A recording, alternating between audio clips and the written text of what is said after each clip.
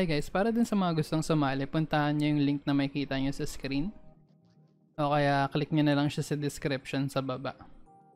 Tapos, mapupunta kayo dito sa website na to. So, may mga fill kayo dito, konti lang naman. In-game name, public user ID. Pinaka-importante, itong download link. Siyempre. Tapos, may mga rules and guidelines dito sa baba. Sundan nyo na lang. So itong public user ID, importante din to. Nakita nyo siya dun sa ano, sa profile nyo.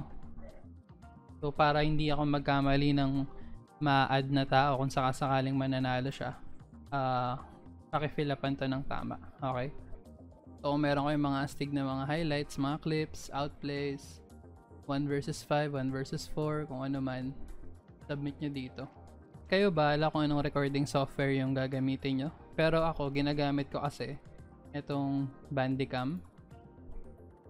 So free lang siya, pero may limit yung ano, yung video 10 minutes lang. Tapos itong OBS ginagamit ko din to. So, may mga tutorial naman yan online. Uh, check nyo na lang kung paano siya gamitin. Tapos siguraduhin nyo na .mp4 yung file.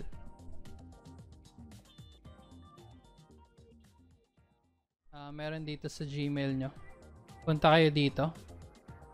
Sa may Google Apps sa upper right. And then piliin nyo yung drive. Ngayon, pagpunta nyo dito sa Google Drive, pindutin nyo tong new. And then file upload. And then dito nyo upload yung file. Okay. Pagka-upload nyo ng file, i-click nyo lang to. Yung, syempre yung file na in-upload nyo. Tapos, click nyo tong parang uh, kadena na ano, na icon. Itong share. Yan. Tapos, i- i-on nyo lang to. So, ibig sabihin yan, link sharing on. Naka-public yung file nyo. So, kakopy mo na tong link na to.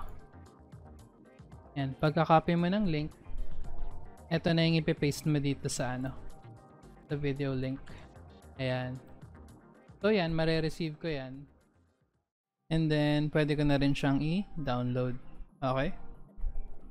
Kaya galingan nyo yung paglalaro nyo at pag-record ng mga outplays. Antayin ko yung video nyo guys ha?